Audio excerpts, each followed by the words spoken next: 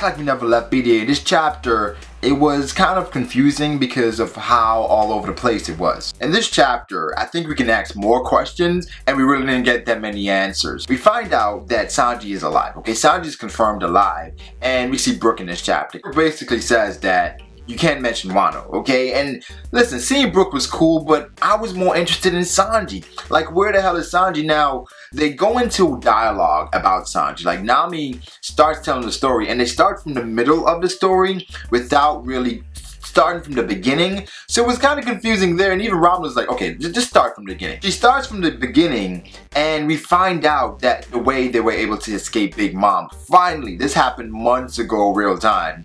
In, you know, previous chapter, 795, Suicide, when we found out that they were actually on Zou, right? So this happened a while ago. And we find out that this was 10 days ago. This is when this happened. They also mentioned Momo and the fact that Momo is locked up in his room because he doesn't do well with Minks. I'm not sure because he's constantly changing or he just doesn't interact well. You find out later on that Jack attacked Zou because he was looking for Raizo, a warrior of Wano. So what I'm thinking happened is Raizo was probably hiding out somewhere on Zou and he stood by and watched Jack demolish their country looking for him. So really right now they're like, yo, we wouldn't want to hear anything about Wano because the last time I heard something about Wano, half the country was demolished. Honestly, I'm reading the chapter and only thing that was on my mind is where the hell is Sanji? Tell me about Sanji.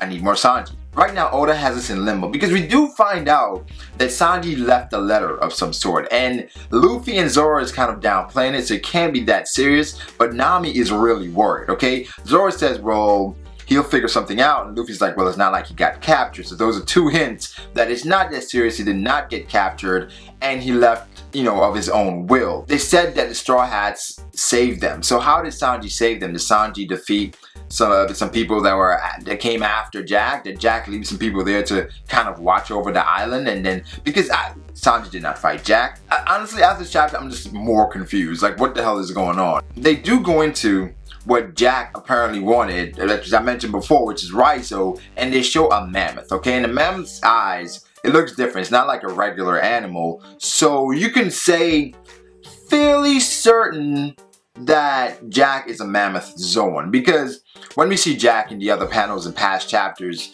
you see the outline of like his, his coat or his jacket or his fur.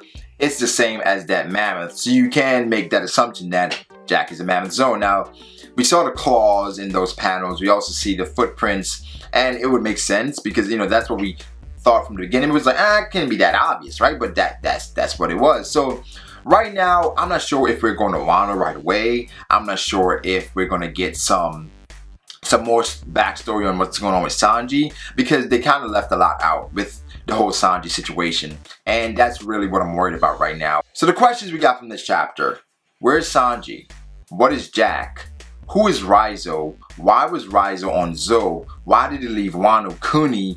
And why did Sanji leave a letter and he's not captured? We even got some Law and Beppo meetup. Like Beppo just fully hugged Law. And we did get some confirmation, bro, that Beppo says, I believe it was Beppo that said that I can't believe you were able to defeat Doflamingo. And Law straight up said that was Mugiwara ya.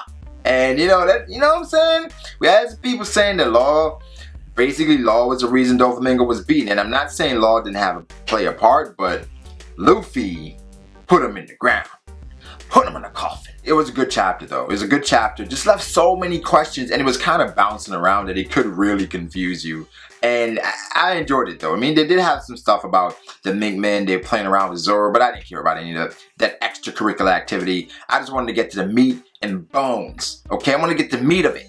All right, because we're not sure what the heck is going on, and I need answers. All right, I need answers, bro. But good chapter nonetheless. I'm not sure if we're about to go to Wano. I'm not sure if we're going to stay on Zou a, bit longer, but we know all there is to know about Zou. Um, they, they did mention some interesting things though. They said there are two kings, a king of the day and a king of the night.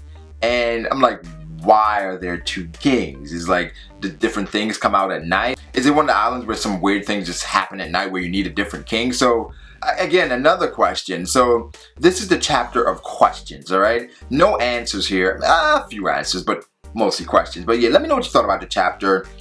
were you reading the chapter and just thinking about what the hell, what's going on with Sanji, or were you really just interested in the chapter? Because I wasn't really focused because I was just thinking like, I need to know what happened to Sanji. It was really cool seeing how they took out Big Mom's ship though, and we did see Capone, he did join Big Mom, and he's just using her to elevate himself. Like Capone is a smart dude, he's just using Big Mom, and we know that they did mention that the quickest way to get to the top is to use some people that's at the top. So Capone is just being smart right now. Drake is on Kaido's crew, and so I wouldn't be surprised if Kid joined the crew as well. It's like you have Luffy is different. Luffy's not gonna join with anybody, you know, but Luffy does have Shanks as an affiliate, so we may see some of these supernovas latch on to these Yonkos for the Throne Wars because that's important. So let me know what you thought about the chapter. I thought it was good.